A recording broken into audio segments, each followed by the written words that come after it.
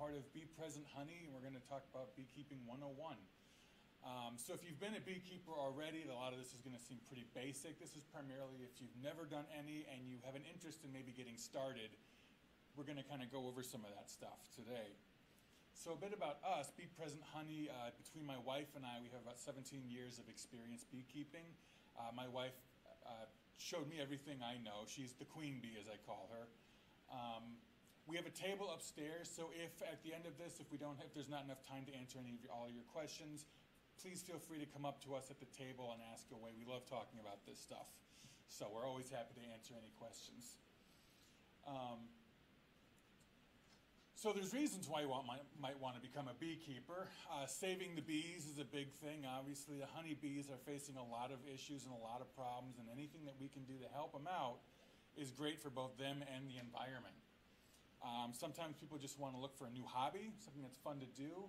It's fairly easy. Sometimes when you first get started, it can be a bit more intensive, but once you've gotten things going, like checking the hive really isn't that difficult, that sort of thing. Once you get started, it's not too bad. Uh, same thing with the inexpensive. It's it's a bit of an investment to begin with to buy the equipment and like the suits and all that. But once you have that stuff, there's not a lot that you need to be spending like throughout the season or every year, you know, so long as your bees are surviving and everything. Uh, helping pollinators and connecting with nature in general. Those are other great reasons. Um, it's not that time consuming. Like you don't want to check the hive every day, like or even every week. We'll check it every few weeks once we've got things established, and so you know it's not like it takes up all of our time. And of course, to get honey. That's one of the most popular reasons people get into it because there's nothing better than honey from your own hive. So we're going to cover a couple topics. The calendar is kind of how we're going to frame everything. We're going to look at the beginning of the year and all throughout the year, and that's going to sort of uh, inform everything else that we talk about, including the equipment that we need, setting up, where to get bees, and helping other pollinators. So you can start now that's possible, but it's easier if you get started a little bit earlier in the year.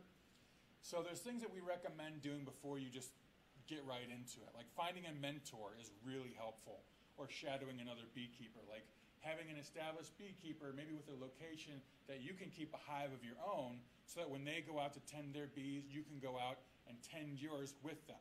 Kind of make it's like learning on the go, as opposed to getting your own setup at your own property and not having a mentor. There's plenty of stuff to look up online. There's always great resources there, but it's fantastic to have someone that you can talk to as you're doing it. Reading, like before you get started, like over the winter months, reading everything you can, joining local and state organizations. We've got a couple there. A2B2 is the Ann Arbor uh, Backyard Beekeepers.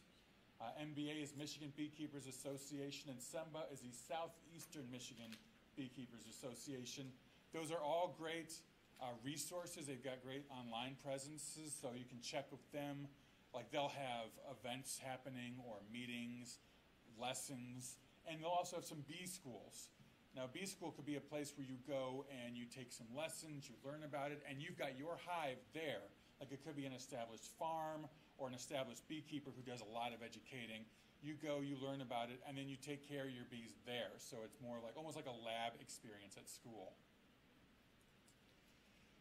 So, like I said, we're going to look through a calendar basically starting at the beginning of the year. So, in January and February, like if you don't have bees, there's nothing to do in the bee yard because we're in Michigan. If you live in an area where it's warm all year round, this is going to be a bit different. But because that's definitely not Michigan, during winter, even if you have bees, we tend to leave them alone. We don't we definitely don't want to like open things up during winter, have all the cold rush in or anything. So before you start, January and February are a great time to learn about new things. Like there's plenty of books about it. Beekeeping for Dummies is a great one too. I know the For Dummies book sounds kind of insultive, but they're solid books. They're they're for people who genuinely want to learn something, and they're great.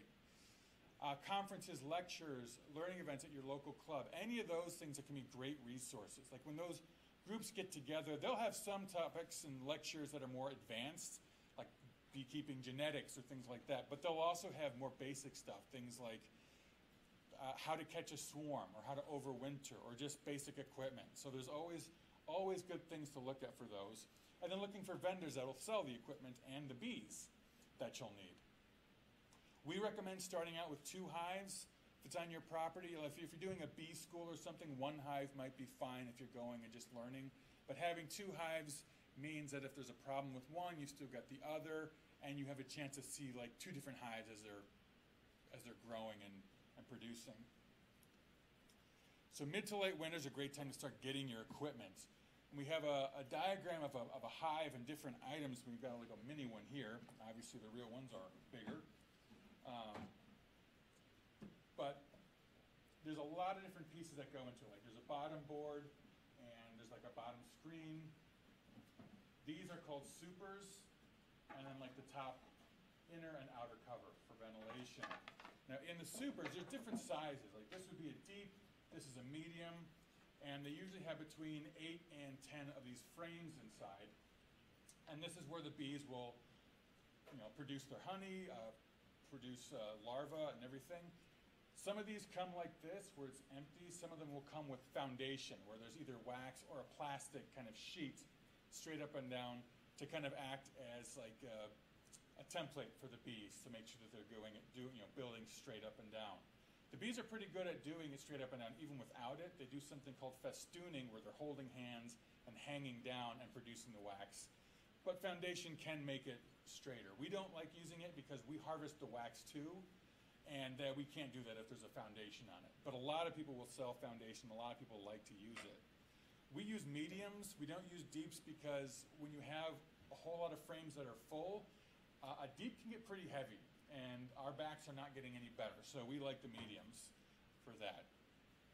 But there's plenty of other, you know, people that like using deeps or some that have more more frames, and then there's of course plenty of actual equipment. Like the bee suit is the most well-known and visible of all of those. And there's a bunch of different kinds of those. We have some that cover the whole body. We have some that are just like the top. You wear it with pants or something, or it's just a veil veil and gloves. And of course, there's a few beekeepers that don't use any of that. They just go out into the yard and they're not bothered by anything. We are not those people. Um, we, uh, you know, we're pretty calm around the bees, but we like having the protection. We like to make sure that we're not doing anything to mess with them and we're not getting stung. We've both been stung a number of times, a couple times, but uh, we like having the protection. Uh, gloves, boots, even if you have like a windbreaker, something that like uh, is tight around the, the wrists or the waist that kind of help keep bees from getting inside. A hive tool, which kind of looks like a cross between uh, like a, a wedge. It's basically like a piece of metal. It's got a couple sharp edges for like prying things apart because as the bees start making stuff, they'll propolize, which is a bee type of cement. Like they'll create this stuff that seals everything in, which is fantastic because it makes it more weatherproof, weather, uh, weather tight, but it makes it a lot harder to open things up. So like you need a hive tool to be able to pry the supers apart and to get some of those frames out. And of course, a smoker. Having a smoker is great because we don't want to make the bees any more agitated than they are. Like calm bees are great bees. We don't want to get stung, but we don't want them to sting us because that means that those bees die, and we want the bees to stay alive as much as possible, obviously. So in March, uh, that's a good time. Like if you've got your equipment, like if you've got your supers, you can start painting them. You can decorate them however you want, so long as the paint is like an outdoor grade, so that you know it's weatherproof. That's fine. You don't want it to just be the naked wood because then it can start seeping in. A lot more moisture can get inside. Having like some kind of protective coating is great for the hive, and it makes it look kind of attractive too finding where you put it is a big deal too. Like you want to make sure it's not an area where lots of people are going to be walking by. One that's going to freak people out, but you also don't want people messing with them or getting too close if you can't keep an eye on them. Plenty of sun is a real big deal. We want them to get lots of sun to keep the warmth. And something else that's important, like if you're in this area, like more north, having a hive that faces to the south is great because during the winter months, when the sun is a little bit south and low, they'll actually get more heat. It'll help keep the hive a bit warmer during the winter months if it's facing south. But you also want to make sure it's not in an area that's going to get a ton of wind hitting it on the side. So having things like windbreakers, like trees or bushes or something that protects it from that is great. Now you don't want to knock the, the hive over, but you don't want the bees to leave the hive and cl- suddenly get whisked away either. So protection from the wind is, you know, windbreak is great. Um, not prone to flooding. Last thing you want is a hive that is uh, filled with water. Um, I've known a few people who've had uh, hives that get flooded out, and it's, it's awful. Like the whole colony can collapse, and it's really rough. So having it one like on a either a stool or a not a table, but something that lifts it up is great. Having it in an area where it's not like the land is just coming right down to it. You just want to play. You want to find an area where it will get lots of sun and it's going to stay as dry as possible. And respect your neighbors. If you have neighbors that maybe have uh, allergies to bees, maybe don't put them right on the border between your property and theirs. Um, some places, especially in towns and cities, there's ordinances as to how many hives you're allowed to have. Sometimes, if you live in a city, it's a maximum of two. If you live out more like in the countryside, you can have a lot more, but you still don't want to put it where it's going to make neighbors nervous. Because you want to establish good relations with your neighbors. You want to make sure, you know, you can always bribe them with some free honey. That sometimes helps grease the wheels so they don't mind having all those hives out there. Um, if they've got lots of flowers or crops, it's also great for them because they'll have free pollinators, which will just help their crops. A couple places to get bees. Buying them is probably how you'll start out. You can buy a package or a nuc, as they're called, like up there on the top, right here. This is a nuc or a nucleus colony. You can get one of those for about 150 to 300, depending on the type of bees you're getting and um, the size of the nuc. Like a lot of the ones that we get, they have about five frames in them, and it's called a nuclear colony because it's got a fully functioning bee colony in there. It's got its own queen and its own workers and drones, and they may have even started building up some stuff in the uh, the frames. Like it's possible if it's a mated queen, she may already be laying some eggs. The other way, another thing for this is sometimes it makes it more expensive. Like if you're buying it from a Michigan beekeeper, you're buying bees that have already overwintered in Michigan, and that can be great because those are bees that are hardier. They have a better chance of overwintering for you, um, and it means that they're not coming from a longer distance. If you get something like a package, most of those are going to be from other areas. Like a lot, like Georgia sells a lot of packages, and those bees are fine, but they've obviously never overwintered. So it might be a little bit more difficult for them to get through a winter.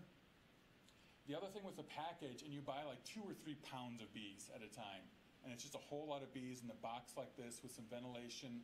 They'll have a queen in there, but it's not their queen.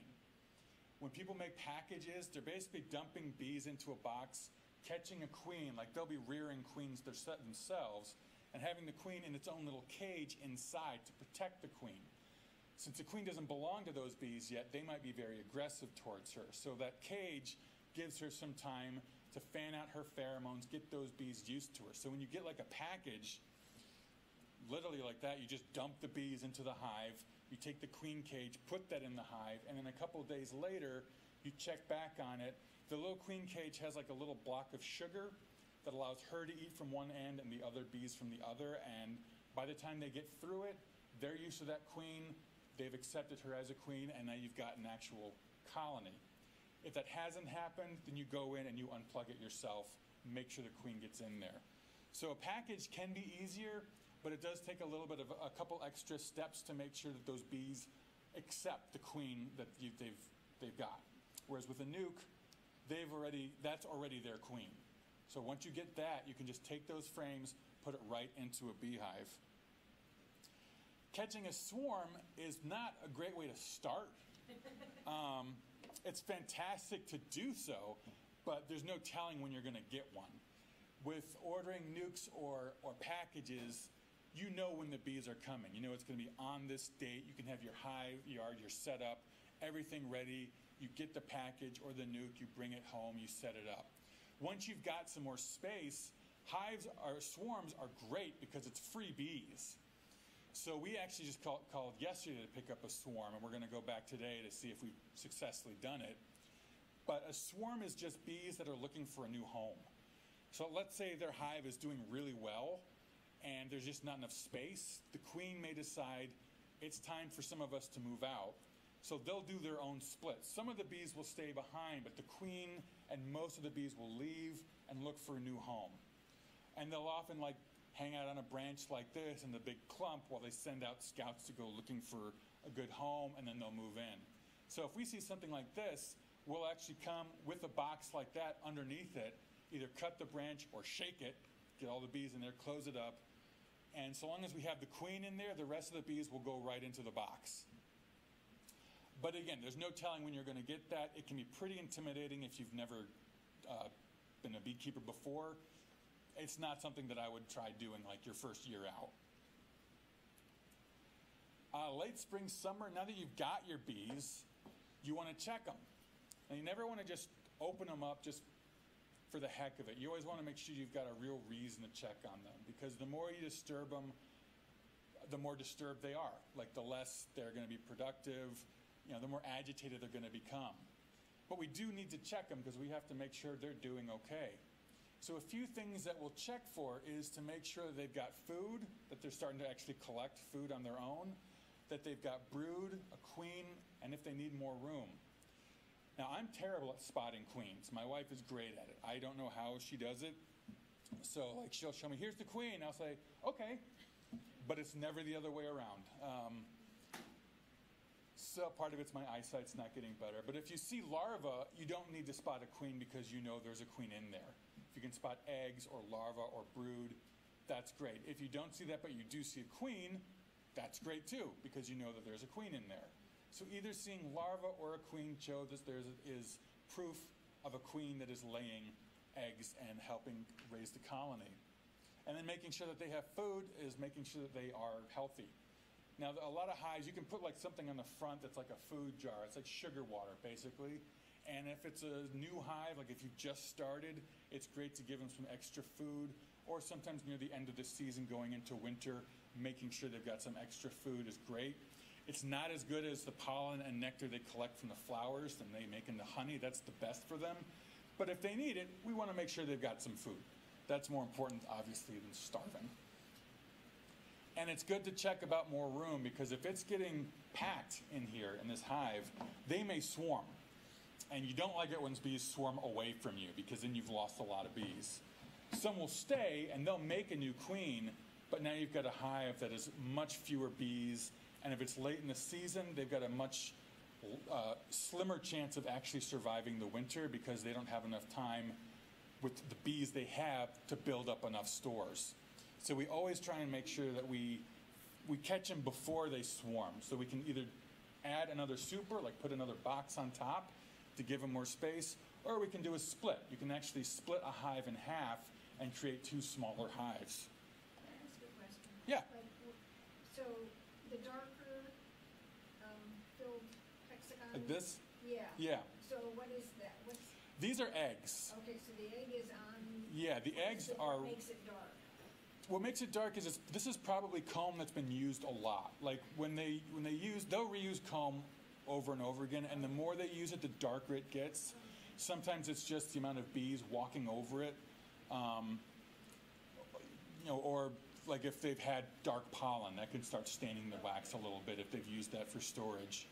Just having it dark isn't a problem. There are, you know, sometimes if it's dark, it could be another issue. But like this, if you see something like this with like a single egg in there, this is a good sign.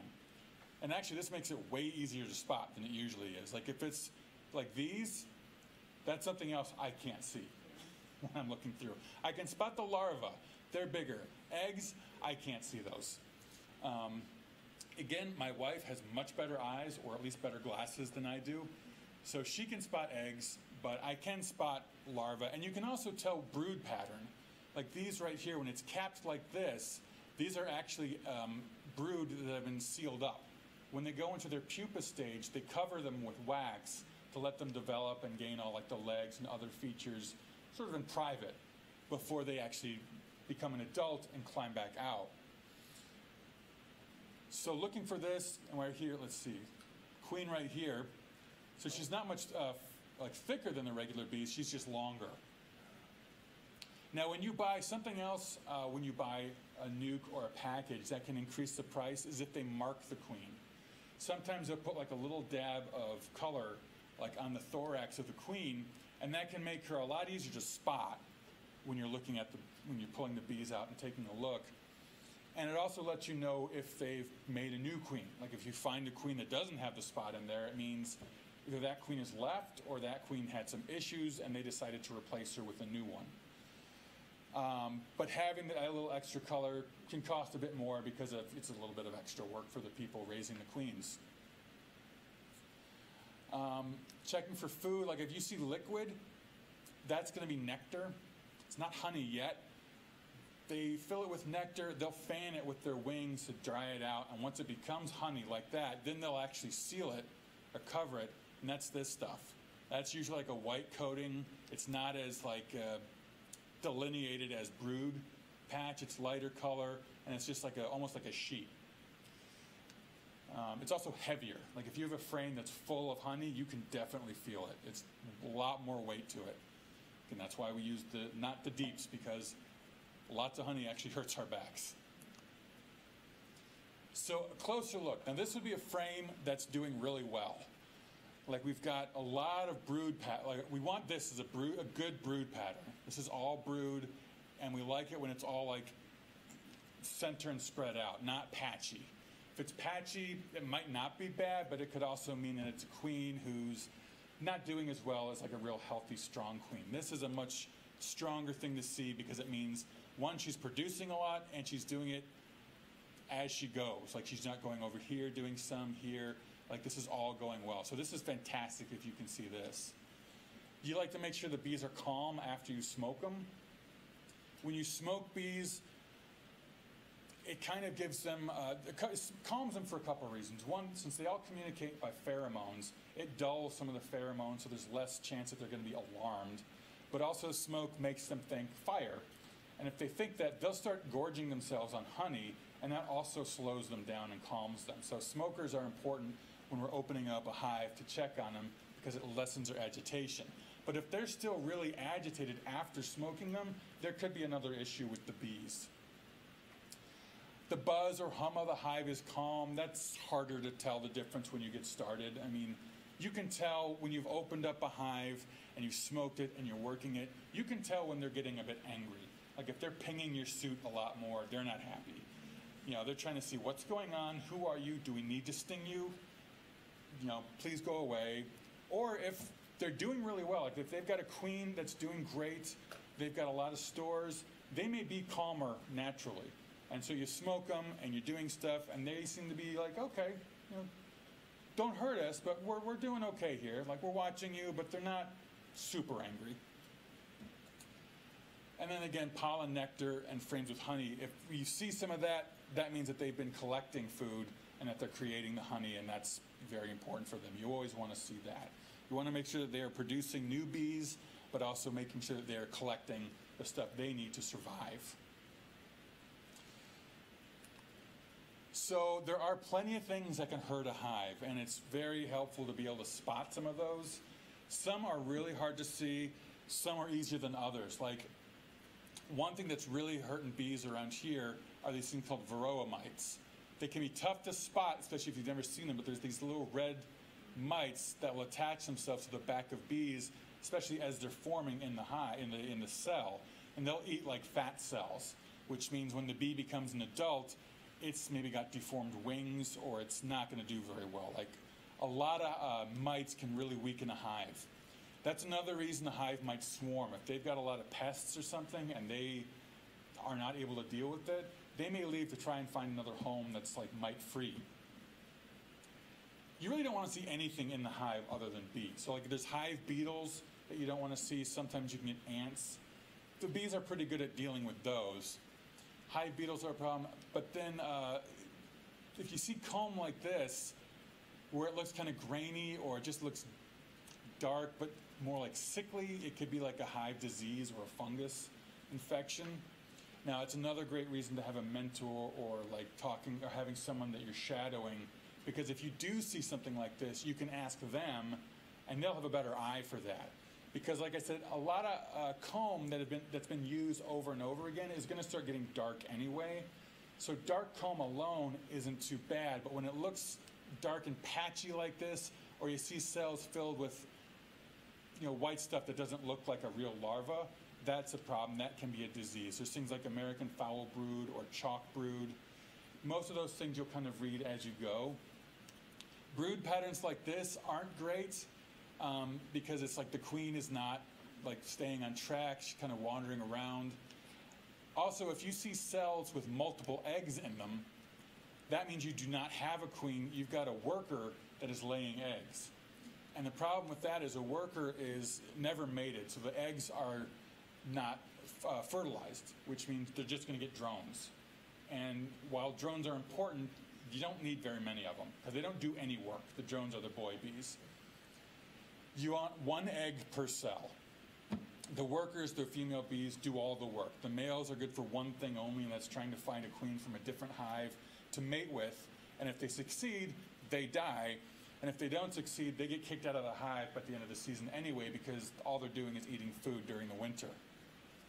So we don't like seeing laying workers because that means you're just going to get tons and tons of drones and you don't actually have a queen that's making new viable bees.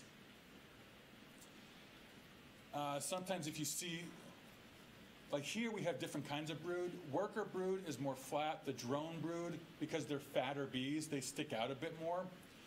Now you want some of them, but you don't want a ton of it. Like if you're seeing just nothing but drone brood, that's another issue. That means the hive's not going to do as well because they're not going to have as many workers. So having some of these popcorn-looking drone brood is great, but mostly what you want is like these flat, kind of even-surfaced worker brood. Now a queen cell is even larger. That sticks out even further than this. And that means that they're growing a new queen, either because they want to replace the queen they have, or they're getting ready to swarm. So that alone isn't a bad thing necessarily. Like if the queen needs to be replaced, it's good that the hive is going to replace her.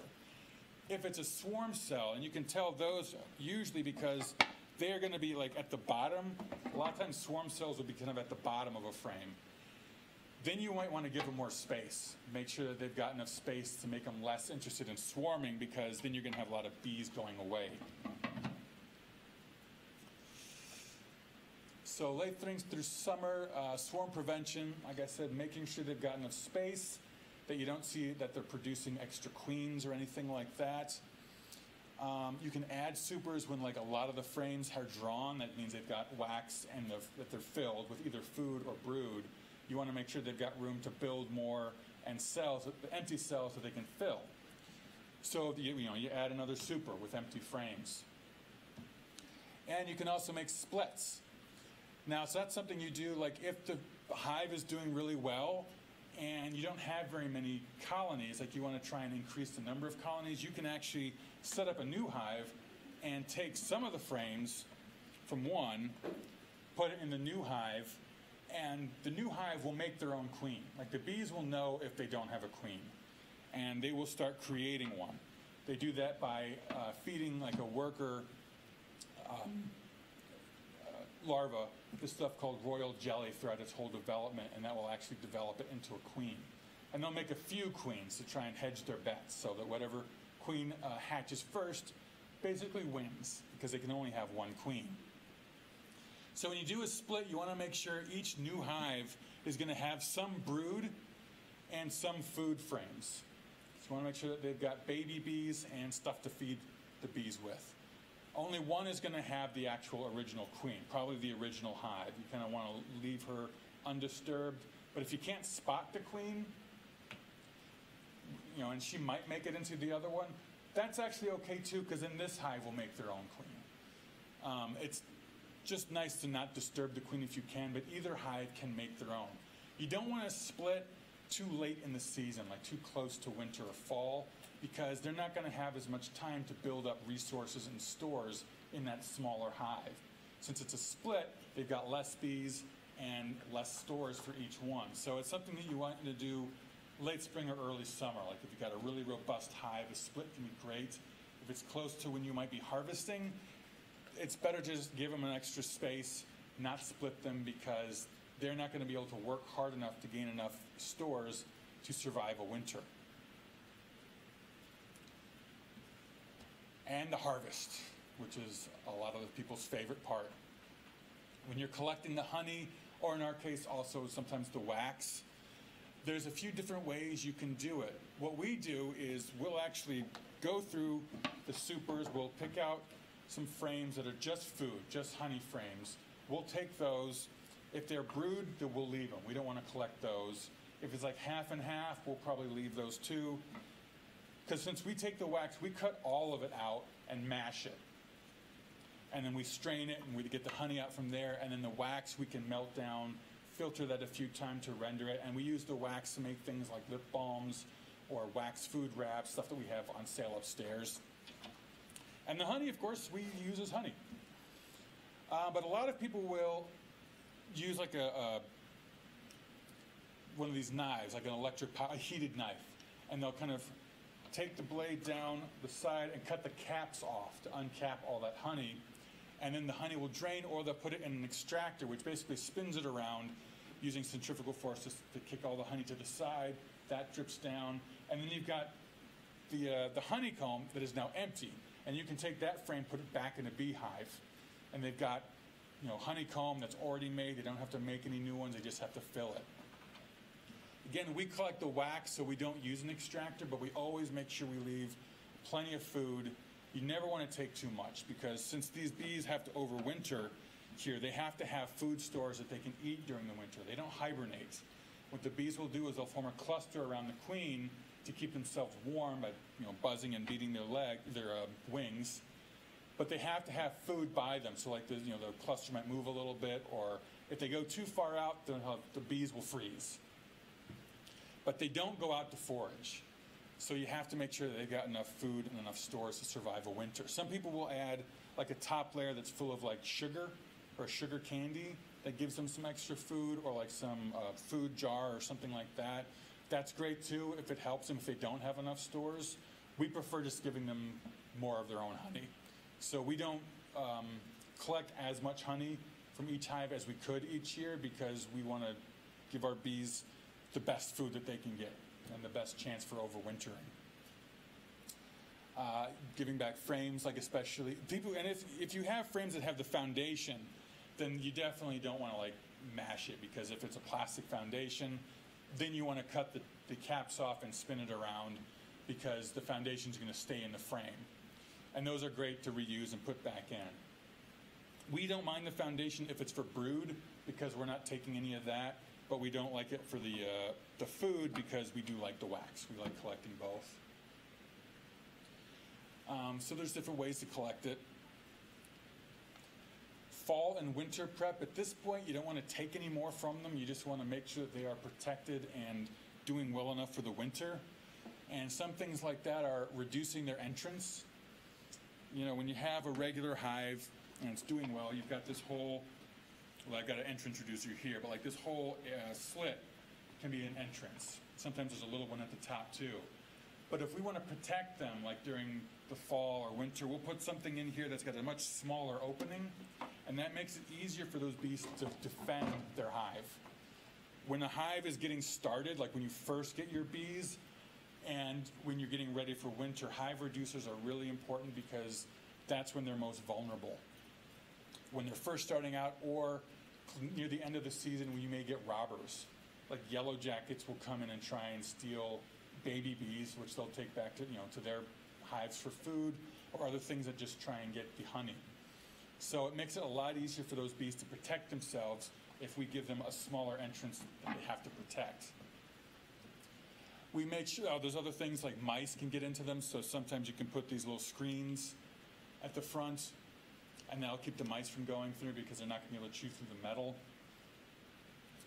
Um, insulation can help with overwintering. They do pretty well with the cold, actually. A bigger problem for bees than like really, really frigid temperatures is if in the middle of all that you get a heat wave, or like you get a day that's really nice and sunny, and then you have a lot of moisture. You have a lot of the snow and ice melting, and if some of that gets into the hive, then once it freezes again, you may have water that's dripped on bees, and now you've got frozen bees. They can handle the cold okay, so long as they have the food in the stores, but frozen moisture on them, that can really devastate them. There's things you can put on top, like moisture quilts, which is almost like a, a thinner version of one of these that's got like absorbent wood chips or sawdust in like a pillowcase or something like that. And that can help trap moisture and keep it from going down into the hive. We've used those sometimes, sometimes we haven't. We've found they work or don't. Uh, we really just try and make sure that they have enough stores. That's always been like the best thing for us. Not, you know, we check the parasites and we make sure they've got enough food. Um, you know, make sure that they are, you know, the windbreak, that's again when you were put, first putting the hive out there. During winter, again, you never want to open the hive, but you do want to clear the front of it. It's fine if there's a ton of snow on the top. That's actually not a problem. But if they have lots of snow in the front, that can be an issue because if there is a nice day, they can't get out. And the bees will never go to the bathroom during the winter. They never go to the bathroom in the hive. They'll wait the whole winter until it's warm enough to leave, and then they'll go outside and do their business. And you can tell if they've done that in front of the hive you see these like yellow specks on, in the snow, like these mustard colored specks. That's basically the bees have gone out to use the bathroom. Um, you can also, one thing we do is uh, we get like a thermal camera and we'll rent it actually from here. The Ann Arbor District Library has one that you can check out, or a couple. And that's great. We can take that and look at the hive, like with predator version, vision. And if we see like a nice warm spot in the middle, that means you've got bees. If it's uniform, cold, yellow like this, that means the bees are probably dead or gone. So it's great a way to check without opening anything up to, to walk around them looking at that. And if you can see like that warmth or a, a colored spot in the middle, that's a great sign. It means you've got bees that are alive and active. Again, always reading and learning up more during the winter because there's less stuff to actively do with them. It's a great time to do that. Decide if you want more hives, and then preparing and purchasing more equipment, like if you want to split or buy more bees just getting ready, getting everything ready for the next season. And again, YouTube's a great place. There's tons of stuff on there. Just find learning as much as you can, going to those conferences, seeing like what maybe didn't work as well this year, and kind of planning for the next year, strategizing. Like, well, they were all really weak. They weren't making enough food. Like, what can we change? What can we do differently? You know, talk to people, ask them, ask them their advice, or ask if you have a mentor that's always great because every year we learn more stuff. I mean, my wife's she's the expert. Like I said, she's taught me everything I know about bees. But every year we still learn more, new things, new tricks to try, new strategies, things that didn't work out as well the next year. Or we go to the conferences and we'll learn some new stuff too. So it's a constant learning thing. Never feel bad like if you don't know what you're doing because if you haven't done it before, you're not supposed to. There's no reason for you to. And even if you've done it for a while, that doesn't mean you know everything. We've met a few beekeepers who seem like they do, but there's really always different styles of beekeeping, different philosophies, and different ways of doing it. The other thing we want to talk about is just supporting pollinators in general. Honeybees are certainly our favorite, but we like all pollinators butterflies, ladybugs, and other beetles. Bumblebees, there's other bees that do it, like this is a, like a bumblebee moth butterfly, you know, uh, fruit bats. Well, we don't really have those here, but in general, any any kind of pollinator is something that we want to encourage. Um, even carpenter bees, which I hate because they eat our house, help pollinate. So I can't hate them too much. They're definitely not my favorite. Even some of the wasps and yellow jackets, they can pollinate. They're not nearly as effective as honeybees, but they will do so.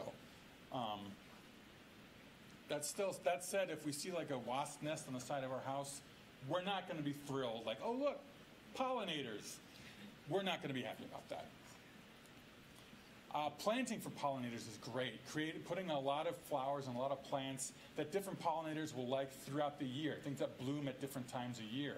So if you like a garden that's got color and that has blooms not just one season, but throughout, that's great for pollinators too because that means that there's going to be sources of food for them later in the season. Like around here, goldenrod is something that comes up like in late summer, early fall.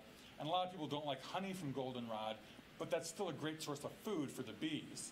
So like we'll try and harvest our honey before they start collecting goldenrod pollen, but that's always great to see because it no it means they're collecting food for them for the winter. And having things that that bloom throughout the year means that they'll have a lot more food. And different pollinators are attracted to different things. Like honeybees don't see red, but they're very attracted to like purples, yellows, blues, whereas hummingbirds do like red. Hummingbirds are another great pollinator. Having like a little bee uh, drinking station, like a watering station, is great. Um, like just a dish of water with some rocks in it so it's not too deep. Important for the bees to have a source of water that they don't drown in, but they need to drink too. Um, not using pesticides or weed, weed killers, that kind of thing. That's also extremely helpful. If you want to keep bees, you really don't want to use anything like Roundup or any of those chemicals on your yard because that's just going to hurt the bees. And even if it doesn't kill them outright, if they're collecting pollen and nectar from plants that have been sprayed with that stuff, they're bringing those chemicals back into the hive, and that's going to get into their wax, into their honey. So that means you might be eating honey with some of that stuff if you're using that. So pulling weeds by hand takes a lot more time, but it's still better for the bees than using the chemical sprays. It's also great to have things like clover and dandelions in your yard. A lot of people don't like that in their grass, but bees love it.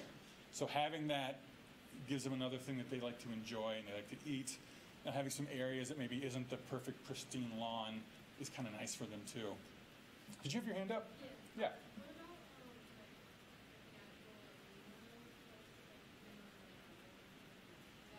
Not like natural stuff to put on it? I mean, yeah, natural stuff in general is better than anything. Like, I don't know too much about the specifics, but if it's something that's not toxic to us either, then that's good because whatever is on those flowers is going to end up in the honey as well.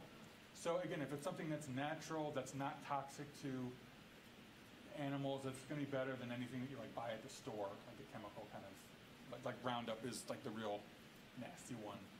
Um, not spraying stuff is better, but I mean, you might have other pests that you want to get rid of that are on those flowers. We just want to make sure we're not hurting the bees. Um, let's see, and habitats. Like you've probably seen things like this, these little bee houses, or in this case, a bee hotel. Um, these are great for solitary bees like carpenters or masons, leaf cutters. They're also like I love this one. I just think it's really cool looking. That gives them a place to, to hang out or to live or to just be at for a little while. You've got like butterfly houses here with these long slits. Uh, of course, hummingbird feeders. It's kind of fun to see those guys around. Anything like that to help local pollinators, aside from honeybees, is also great. So, like, if you're a beekeeper, cool, and then add a few of those too, and you'll have some other good critters around. Uh, supporting local is great.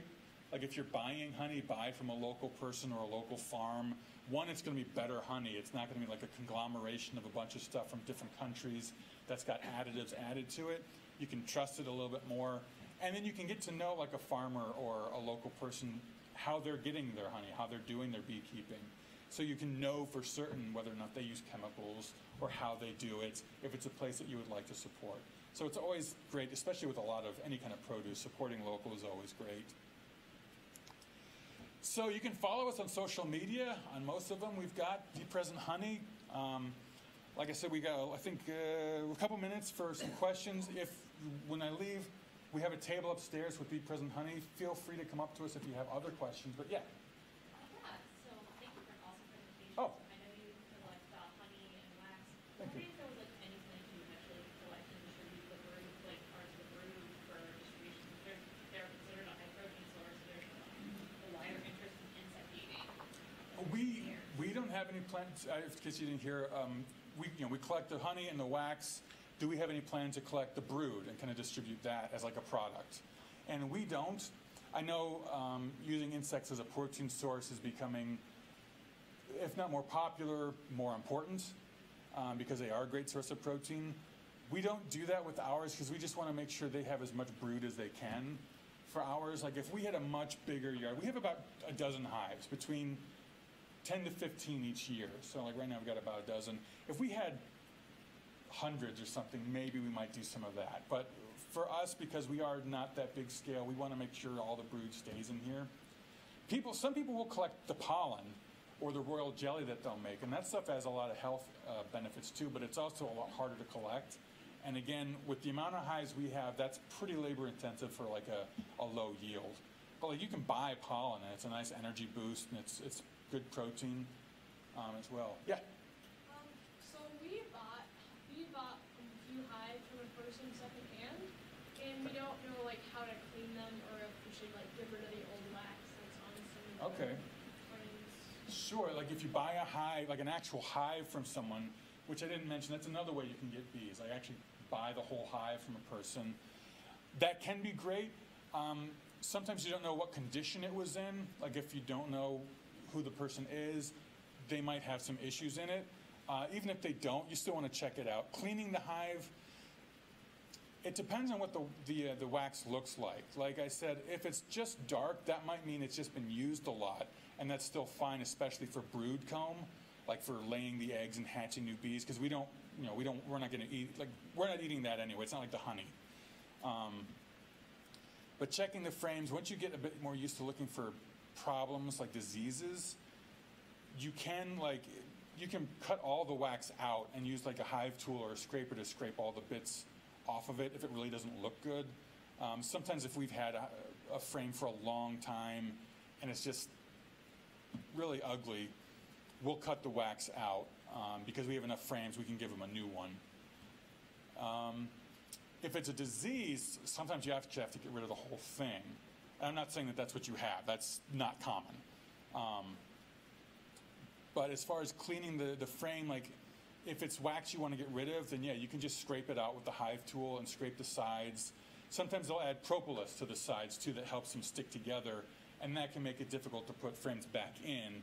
So scraping some of that off the side was, is good for leaving some, um, for, for getting those frames back in. You don't want to leave too much space. Like, you always want to make sure the frames are nice and close together, because if they're a little bit far apart, they'll build in between, and you might get like what we call wonky comb comb that's not straight up and down, comb that kind of goes this way and that way, and that's a lot harder to get out because you can't just take one frame out without ripping a lot of it apart.